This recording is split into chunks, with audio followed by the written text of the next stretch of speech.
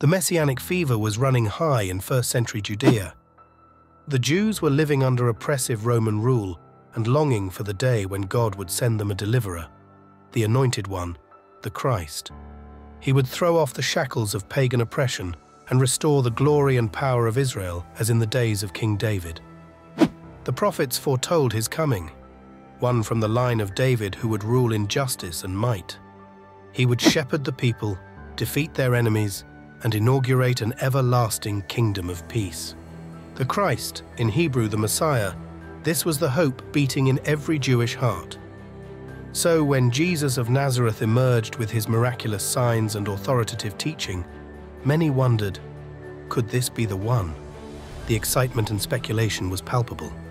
Surely if this man was indeed the promised Messiah, the one to lead the revolt against Rome and ascend to the throne, he would want everyone to know and rally behind him, right? Huh? Shh! But surprisingly, Jesus himself tried to dampen the messianic claims about his identity. Every time followers proclaimed or hinted at his role as the Christ, Jesus would silence them. Shh! When Peter declared, You are the Messiah, Shh! Jesus ordered the disciples to keep quiet about this. Why all the secrecy? If he really was the Christ, why didn't he leverage public opinion and stir up a movement? Could Jesus be hiding something about his mission that defied expectations about the Messiah? Shh! As crowds flocked to him, this question burned in many minds. If this man is the one we're waiting for, why isn't he acting like it? This fascinating tension raises so many questions. What was Jesus up to? Was he hiding from danger? Did he see his role of Messiah differently? Uncovering the mystery behind Jesus' reticence to declare himself openly as Christ will give us keys to understand his broader mission that would turn the world upside down. The Gospel accounts contain a startling theme. Jesus continually downplaying his identity as the Messiah and swearing his disciples to secrecy. Despite doing astonishing miracles that threatened to give away his heavenly authority, Jesus remained enigmatic about his origins and role.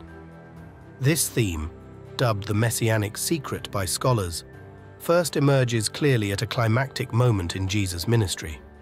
In Caesarea Philippi, Jesus asks his disciples frankly, Who do you say I am? Simon Peter issues the ultimate declaration, You are the Christ, the Son of the living God.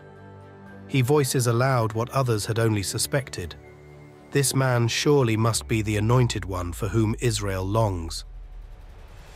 But instead of capitalizing on this flashpoint and using it to spark a liberation movement, Jesus unexpectedly rebukes his followers and warns them to tell no one he is the Christ. Why not ride this wave of public momentum if he is indeed the Messiah and Redeemer of Israel? This confusing tension heightens later in Jesus' ministry. Even as he prepares to enter Jerusalem as a conquering king, Jesus remains cryptic, riding on a donkey and temporarily dampening the nationalist fervor his arrival excites. The one perceived by many to be the anointed revolutionary refuses to don that public mantle explicitly. Was Jesus afraid of the authorities who opposed his populist appeal? Was he hiding strategic elements of his mission for the right time? Or did he have an entirely different understanding of messiahship than his disciples anticipated? The Gospel accounts leave us hanging in dramatic tension. Clearly, Jesus is proclaiming and demonstrating the inbreaking kingdom of God in word and deed. His disciples have left everything to follow him. Crowds hail his coming. Surely he intended his movement to spread rapidly. And yet, whenever the popular excitement threatens to boil over into overt revolution centered on Jesus as national liberator, he finds ways to evade and throw cold water on these expectations. What gives? The explosive tension crackles. Why won't Jesus openly claim the messianic title that seems ready to ignite an uprising through him? As cryptic as Jesus' behavior may seem, he likely had wise strategic reasons for avoiding an early and explicit claim to messiahship. Knowing the volatile political climate, Jesus anticipated his followers could easily misunderstand his mission and spark a premature uprising that would backfire. Though he was the Messiah, the commonly expected liberator paradigm did not encompass the full meaning of his coming. Firstly, Jesus understood the kingdom of God he proclaimed was not of this world.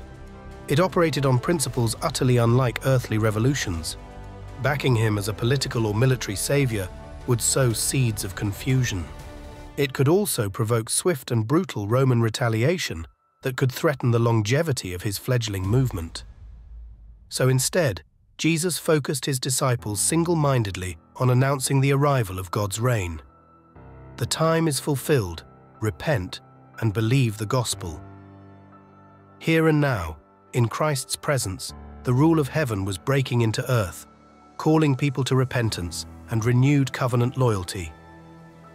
The kingdom was manifest in his words of authority, in liberating acts of mercy, in his daring obedience to God despite opposition. This demonstration of the kingdom, not his personal messianic title, was the priority. As long as eyes remained fixed here, instead of prematurely forcing a political power grab in his name, the movement could grow from the ground up. Like a mustard seed quietly sprouting, the gospel of the kingdom would take root in hearts and eventually yield a mighty tree. Once that soil was fertile enough, the next phase could safely dawn, where Jesus' true identity as Lord and Redeemer would be revealed on a much firmer foundation. The turning point came after Jesus' willing sacrifice on the cross appeased wrath and turned aside judgment. His resurrection then vindicated him as righteous and exalted him as cosmic ruler, disarming the demonic powers against God's kingdom. Now was the time to lift the veil fully.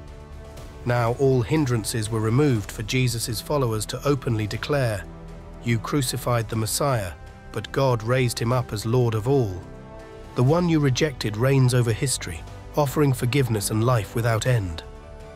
The secret once concealed unleashed the full gospel reality like dynamite. The cautious tenure of Jesus' earthly ministry gave way to the apostles' bold proclamation of him as Christ across the ancient world. The revolution that birthed the church was finally out in full force. Looking back, we can now perceive the method in Jesus' secrecy. By not loudly proclaiming his messiahship early on, he veiled the stunning climax of the gospel drama until the perfect moment. Jesus' cryptic allusions and rapid silencing of any overt royal claims postponed a revolutionary conclusion that could only unfold smoothly after obstacles were removed. Like a masterful storyteller building intrigue before a shocking plot twist, Jesus hinted just enough to hook his audience while keeping the big reveal safely up his sleeve. This calculated restraint allowed Jesus to define messiahship on his own terms, avoiding the pitfalls of public misconceptions. It also gave time for his continual demonstration of the kingdom through healing, teaching, and mercy to take root in people's hearts without being overshadowed by politics. By refusing to bend to others' assumptions, Jesus shaped the culture around him rather than reacting to it. His indirect influence expanded in widening circles like leaven penetrating bread, largely unseen but with immense impact. When the climactic moment finally arrived, on cue, all heaven broke loose.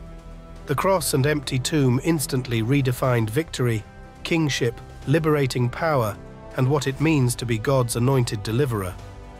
In hindsight, the messianic secret was a tactical feint, awaiting the perfect moment. The suppressed truth about Jesus gave way to an even more staggering gospel revelation. It was only a partial concealment designed to pave the way for the greatest exposure ever conceived in history. This crucified peasant from Galilee is Lord of heaven and earth. God has made the humiliated and despised one the world's true king. Like an exquisite masterpiece behind a curtain, Jesus' identity in veiled glimpses only heightened the breathtaking impact when the complete picture was finally revealed. The long game of reserved wisdom paid off in the end with an overflowing, astonishing reward, the gospel in all its world-altering fullness.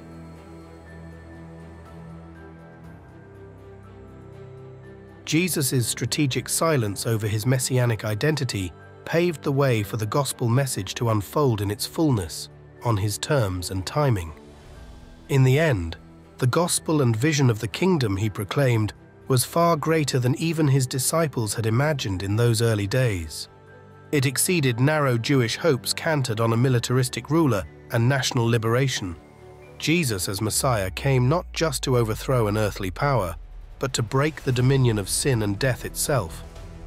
And he would win this cosmic victory not through proud displays of power and might, but through laying down his life as a ransom for many.